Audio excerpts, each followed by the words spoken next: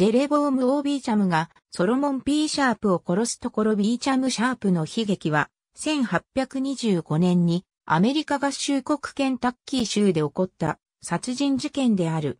ジェレボーム・オー・ビーチャムは若い弁護士としてケンタッキー州議会議員のソロモン・ P・ シャープを崇拝するものだったが、シャープは農園主の娘であるアンナ・クックとの間に非着室死を設けたと申し立てされた。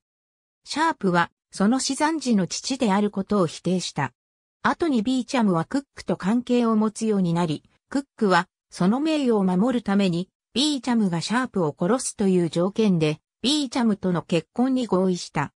ビーチャムとクックは1824年6月に結婚し、1825年11月7日早朝、フランクフォートにあったシャープの自宅で、ビーチャムがシャープを殺害した。捜査によって間もなく、ビーチャムが殺人者であることが分かり、事件から4日後に、グラスゴーのビーチャムの自宅で逮捕された。裁判にかけられて、有罪となり、公死刑を宣告された。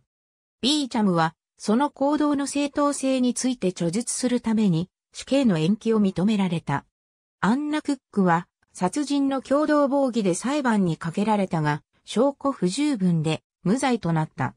アンナはビーチャムを献身的に愛していたので、独房でもビーチャムと共に過ごすこととなり、処刑の少し前にアヘンチンキを飲んで心中を試みた。しかしこれは失敗した。処刑の日の朝、二人は再度自殺を試みた。この時はアンナが独房の中に持ち込んだナイフで刺すという手段だった。心中を図った二人を見つけた守衛はビーチャムが刺し傷で絶命して舞わないよう大急ぎで、ビーチャムを公主台へと運び、公死刑を執行した。ケンタッキー州では法によって処刑された最初のものとなった。アンナ・クックは、夫が処刑されるすぐ前に、刺し傷で死んだ。二人の意志に従い、同じ棺桶で埋められる時に互いを抱擁するように、意外が収められた。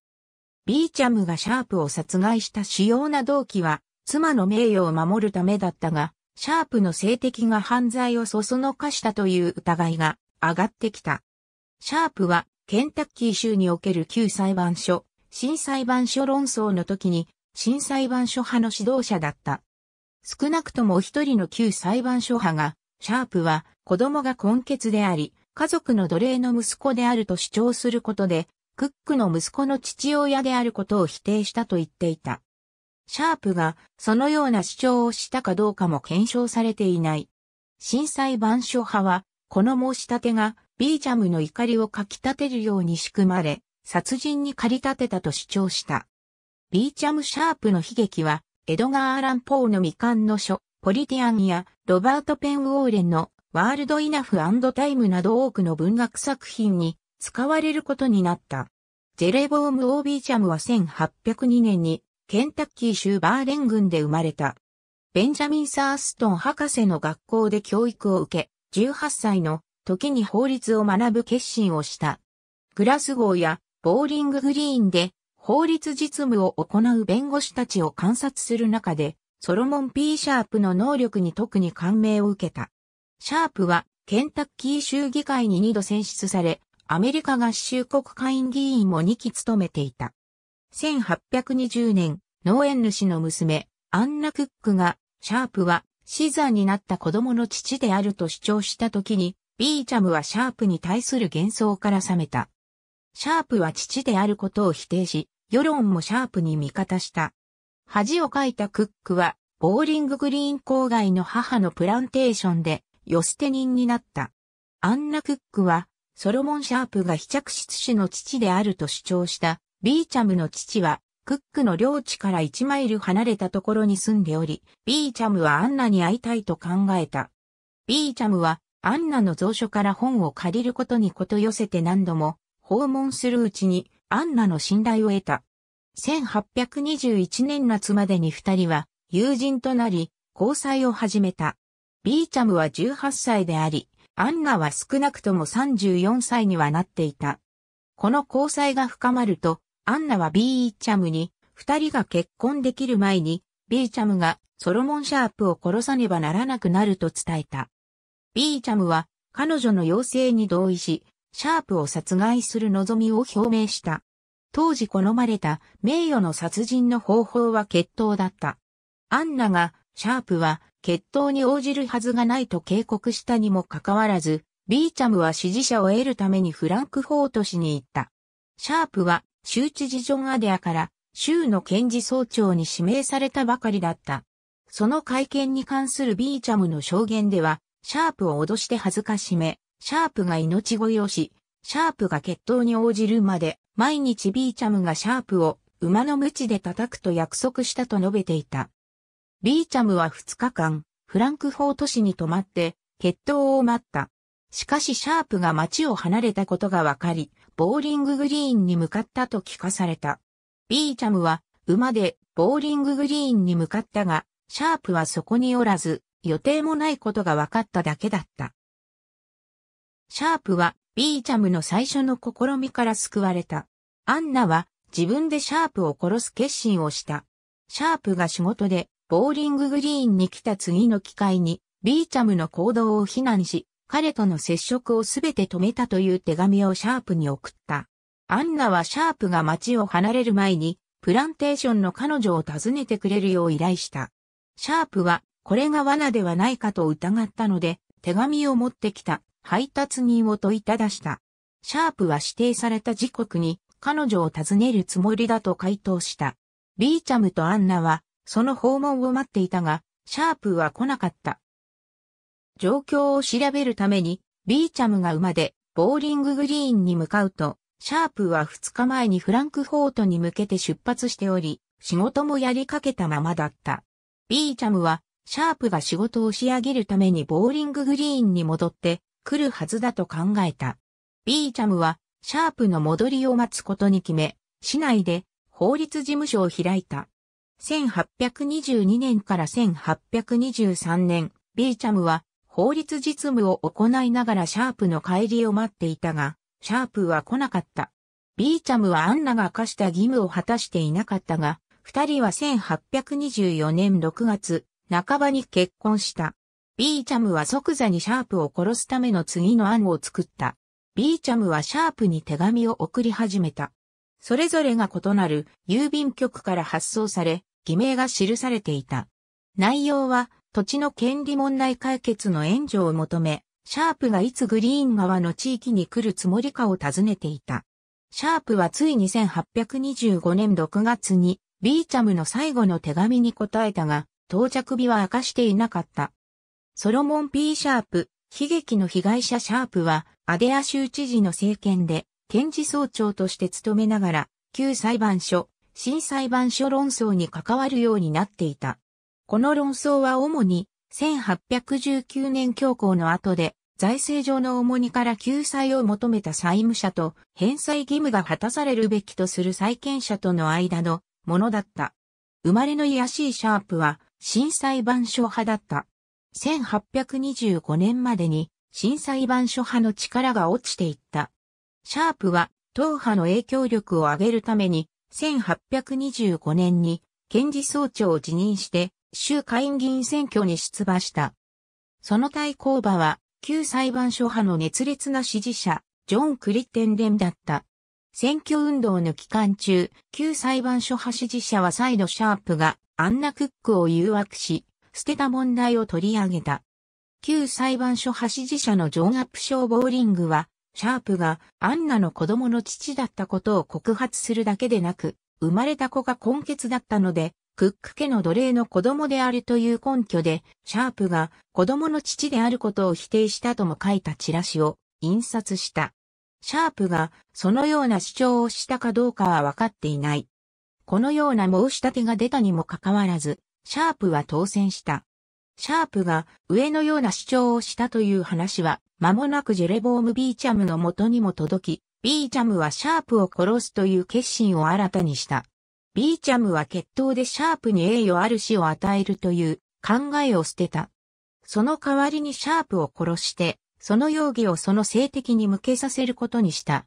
その陰謀に付け加えるために、州議会が開会される前夜に殺人を行うことにした。ビーチャムは仕事でフランクフォートまで馬に乗って向かい、11月6日に到着した。しかし、土地の宿屋で部屋が取れずに、州立刑務所長であるジョエル・スコットの支度で部屋を借りた。深夜を過ぎた、いずれかの時点で、スコットは、ビーチャムの部屋から騒いでいる声を聞いた。スコットが調べてみると、ドアの掛け金が開いたままとなっており、部屋には誰もいなかった。ビーチャムは変装し、その衣類はケンタッキー川近くに埋め、シャープの家に向かった。シャープは家にいなかったが、間もなく土地のホテルで見つけた。ビーチャムは、シャープの家に戻り、その近くに隠れて、シャープの戻りを待った。シャープは新夜中頃に家に帰ってきたのが観察された。ビーチャムは1825年11月7日朝2時頃に、その家に近づいていった。その自白によれば、遭遇の様子は次のようなものだった。私はマスクをつけ、担当を抜いて、ドアに進んだ。3回、大きくせわしくノックすると、シャープ大佐が、そこにいるのは誰だね？と尋ねた。コビントンだと私は答えた。即座にシャープが、ドアに近づいてくる足音が聞こえた。ドア下の隙間からは、彼が明かりをつけずに近づいてくるのが分かった。私がマスクを引き上げたその時に、シャープ大佐がドアを開けた。私は部屋の中に進んで、左手で彼の右手首を掴んだ。彼は激しく捕まえられたことで飛び去り、その手首を外そうとして、これは、どのコビントンだと言った。私は、ジョン・ A・ コビントンだと答えた。私はお前を知らないと、シャープ大佐は言って、ジョン・ W・ コビントンなら知っていると続けた。シャープ夫人が間仕切りドアに現れて、また消えた。彼女が消えたことを確認した私は説得する口調で、明かりの下においでください。大佐、あなたは、私がわかることだろうと言い、彼の腕を掴んで引っ張ると、すぐにドアのところまで来たが、この時も私の左手で彼の手首を握っていた。私は帽子を脱ぎ、額からハンカチを外して彼の顔をまともに見た。私の長く密生しカールした髪を見て、彼は私が想像したよりも早く、私を認知した。彼は飛び去って、恐怖と絶望の混じった声で、何としたことだ、彼ではないかと叫び、そう言いながら、膝から崩れ折れた。私は、彼の手首を離し、喉を掴んで彼をドアに押し付け、その面前で、悪党よ、死ねと呟いた。私はそう言いながら、短刀を彼の心臓に突き刺した。ジェラボーアム・ビーチャム、 Confession of ジェラボーアム・オー・ビーチャム。傷は、シャープの大動脈に達し、ほとんど即死だった。シャープの妻エリザは、家の階段の上から全場面を目撃したが、ビーチャムは人物を同定されたり捕まえられたりする前に逃亡した。着替えを埋めた場所に戻ると、変装を脱ぎ、岩に縛り付けてケンタッキー川に沈めた。通常の服を着たビーチャムは、スコットの家の部屋に戻り、翌朝までそこにいた。ケンタッキー州議会は殺人事件のことを知ると、シャープの殺人者の逮捕と説得に協力した者に3000ドルの賞金を出す権限を州知事に与えた。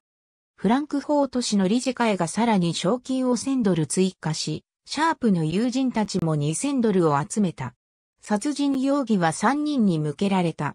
すなわち、ビーチャム、ウォーリング、パトリック・ H・ ダービーだった。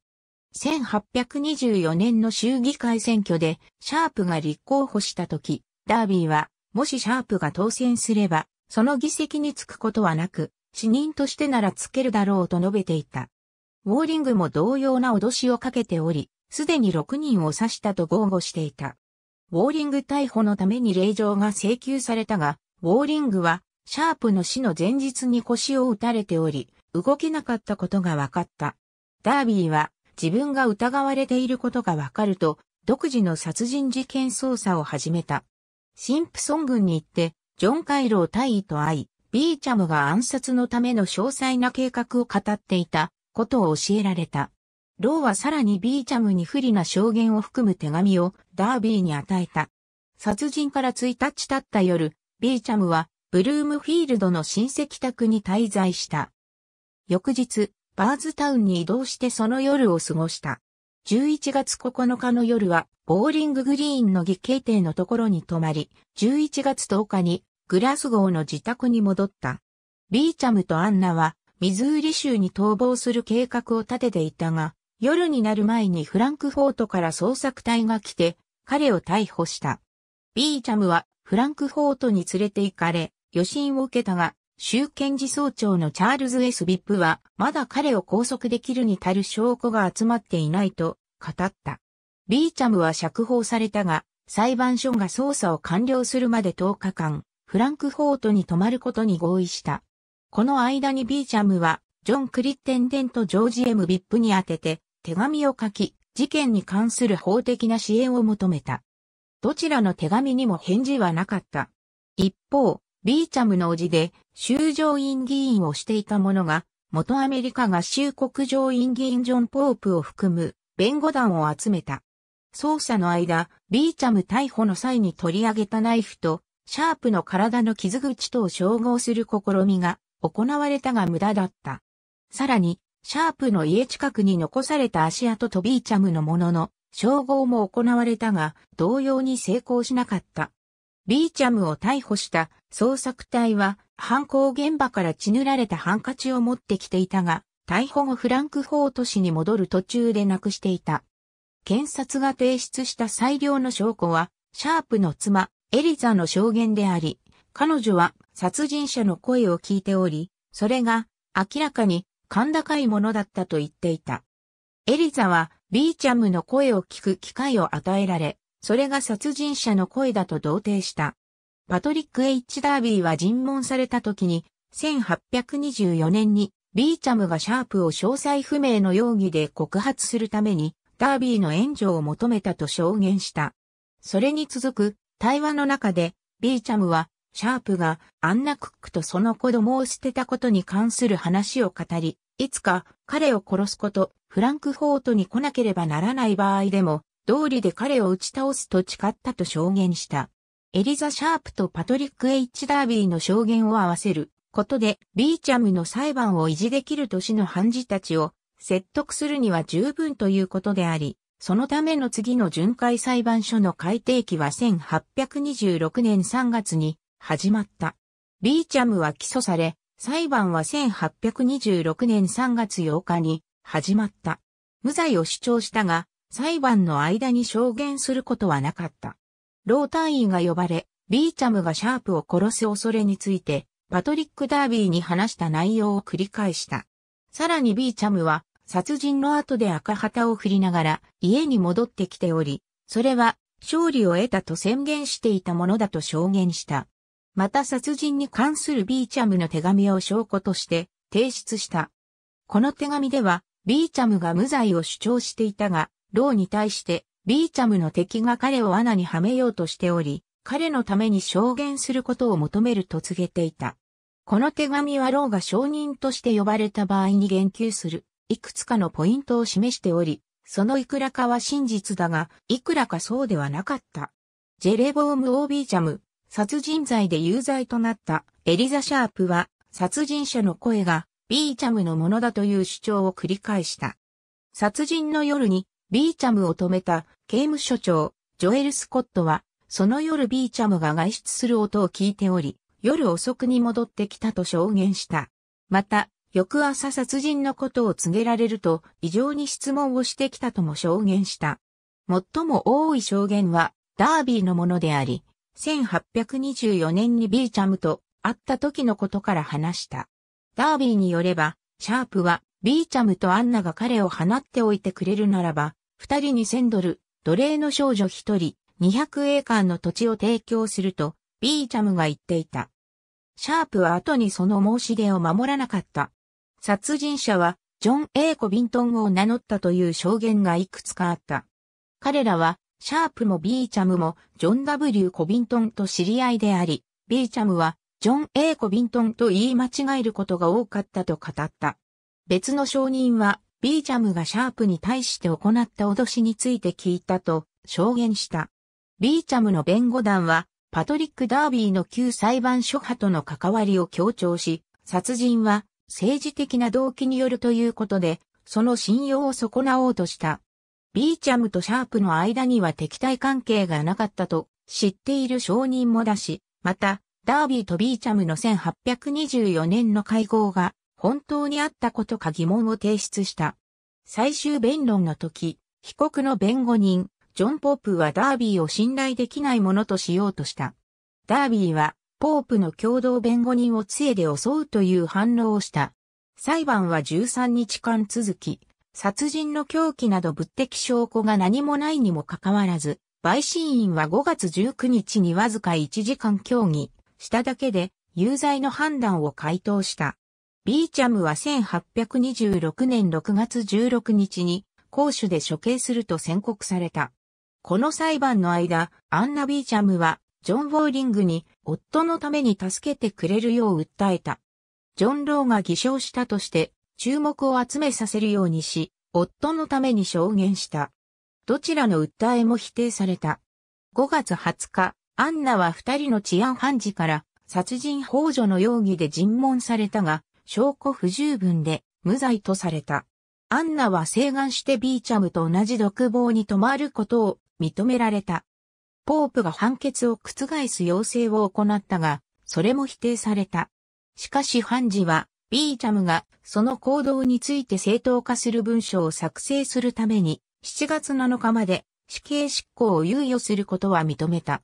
ビーチャムはその文書の中で、アンナの名誉を守るためにシャープを殺したと記した。ビーチャムは、その処刑の前に文書が出版されることを期待していたが、それは名誉毀損の告発を含んでおり、検察の証人が偽証を行い、彼を有罪にするために賄賂を送っていたというものだったので、出版が遅らされた。ビーチャムは監守に賄賂を送って逃亡させてもらおうとしたとして告発されたが、これは成立しなかった。その逃亡を助けてもらうために、ビーチャム上院議員に手紙を届けようともした。さらに処刑の執行猶予を得ようとして、ジョセフ・デシェ知事に最後の請願を行ったが、7月5日に否決された。その日遅く、アヘンチンキを大量に飲んで心中を試みたが、二人とも生き残った。ビーチャムは、シャープ殺害で処刑された。1826年7月7日、ビーチャムの処刑が予定されていた7月7日朝、アンナは監修に着替える間に目を離してくれるよう依頼した。アンナは再度アヘンチンキを大量に飲もうとしたが、飲み干せなかった。彼女は独房にナイフを持ち込んでおり、それを互いに突き刺すことで心中を試みた。二人が発見された時、アンナは、看守の家に連れて行かれて、医者の治療を受けた。ビーチャムはその傷で弱っていたので、荷車に乗せられて、処刑台に連れて行かれ、出血で死ぬ前に行使された。処刑される前に妻に会いたいと主張したが、医者が彼女は重症ではなく回復すると伝えた。ビーチャムは妻に会うことを許されないのは残酷だと抗議し、看守が彼を彼女のところは連れて行くことに同意した。ビーチャムは妻のところに行って医者が嘘を言っていたことが分かって怒った。アンナはとても弱っており話すこともできなかった。ビーチャムはアンナの脈が感じられなくなるまで彼女のところに泊まっていた。ビーチャムは命のないアンナの唇に接吻し、貴女のために私は生きた。貴女のために私は死ぬと叫んだ。ビーチャムは処刑台に向かう途中で集まった監修の中にいたパトリック・ダービーに会うことを求めた。ビーチャムは微笑んでその手を差し出したが、ダービーはそれを身振りで拒絶した。ビーチャムはダービーが殺人に関与したことを公に否定したが、1824年の会合については嘘を言っていたと非難していた。ダービーは偽証の告発を否定し、告発を撤回することを期待して、それについてビーチャムと議論しようとしたが、荷車の漁者が処刑台への進行を続けるよう囚人に命令した。ビーチャムは処刑台で集まった牧師に7月6日に救済を経験したと保証した。立っていることもできないほど弱っており、しめ縄が首に巻きつけられる間も、二人の男に支えられていた。ビーチャムの要請で第22連隊の軍楽隊がボナパルトのモスクワからの撤退を演奏し、5000人の監修がその処刑を見に来ていた。ケンタッキー州の歴史では、初の法による公主刑だった。ビーチャムの父が息子と義理の娘の意外の埋葬許可を求めた。二人の意外は彼らの要望に従って、一つの棺桶に抱き合って収められた。ケンタッキー州、ブルームフィールドのメイプルグローブ墓地に埋葬された。二人の墓石にはアンナ・ビーチャムが書いた詩が彫られている。ビーチャムの告白は1826年に出版された。同年、アン・クックの手紙も出版されたが、その著者については、現在も議論されている。J.G. ダナと R.S. トマスも、ビーチャムの裁判について、編集された記録を出版した。翌年、シャープの兄弟である、レアンダー・シャープ博士が、ビーチャムの告白で行われた告発からシャープを弁護するために、故ソロモン・ P・シャープ大佐の性格の正当性を書いた。パトリック・ダービーは、この作品が出版されれば、シャープ博士を訴えると脅した。ジョン・ウォーリングは、シャープ博士がそれを出版すれば、命が危うくなると脅した。この作品の写しはすべてフランクフォートのシャープの家に残され、多くの年月が経って回収される時に見つかった。シャープの殺害については、多くの者が名誉を守る殺人とみなしたが、新裁判所派はビーチャムが、旧裁判所派、特にパトリック・ダービーによる暴力に煽り立てられていたと非難した。シャープは1826年の下院議長選挙では少数党の候補者だったと考えられている。ビーチャムにシャープを殺させるよう仕向けることで、旧裁判所派は性的を排除できた。シャープの未亡人エリザはこの考え方を信じているように見えた。1826年、エリザの書いた西アメリカの新裁判所、アーガスに載せた手紙で、ダービーのことを私の心が地球上で最も愛したものを奪った、恥ずべき殺人の主要な先導者と呼んでいた。旧裁判所派の中には、デシェー知事がビーチャムに、その告白の中で、ダービーと旧裁判所派の事務官であるアキレス・スニードを犯罪に関与させるようにすれば、恩赦を与えると言った、と主張する者がいた。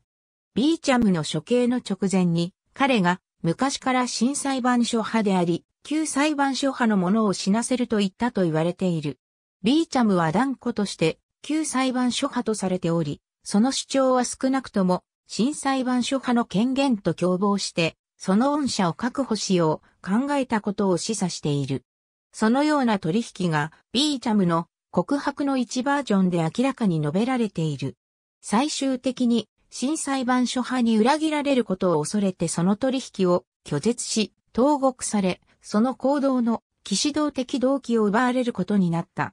ダービーは殺人への関与を否定し、フランシス・ピー・ブレアやエーモス・ケンドールなど、新裁判所派がダービーを誹謗しようとしていると主張していた。またエリザ・シャープの西アメリカの新裁判所、アーガスに送った手紙は、ケンドールなど、新聞編集者の新裁判所支持者が書いたと反論した。両者の間の主張と反論は、1826年に新裁判所、アーガスに掲載された手紙で、新裁判所支持者は、旧裁判所はを非難するために、シャープの殺人をそそのかしたのであり、彼らに汚点をつけたというものまで現れた。ダービーは、結局、ケンドールとエリザ・シャープ、さらに、ビーチャム上院議員やシャープの兄弟、レアンダーに対して、名誉毀損で訴訟に訴えた。審理の遅れや裁判開催場所の変更で、そのどれもが本格的な裁判にまで進まなかった。1829年12月、ダービーが死んだ。ビーチャム・シャープの悲劇は、エドガー・アラン・ポーの未完の戯曲、ポリティアンやロバート・ペン・ウォーレンの World Enough and Time など多くの文学作品に使われることになった。ウィリアム・ギルモア・シムズは、シャープの殺人とその後について3つの作品を書いた。すなわち、ビーチャム、ケンタッキーの悲劇、熱情の話、チャールモント、ビーチャム、チャールモント続編である。チャールズ・フェノ・ホフマンによる、グレース・レア、モホークのロマンス、シャーロット・バーンズによる、オクタビア・ブラガルディ、ジョン・サベージによる、シビル、トマス・ホリー・シバーズによる、コンラッドというドラ、アロンゾの死、一つの悲劇と、レオに、ベニスの孤児はすべて、シャープ殺人を取り巻く事件にある程度基づいている。A、ソーシズベリアスリーギブザネームワズ、アンナクック、アンナクック、アンクック、アンド、アンクック。ありがとうございます。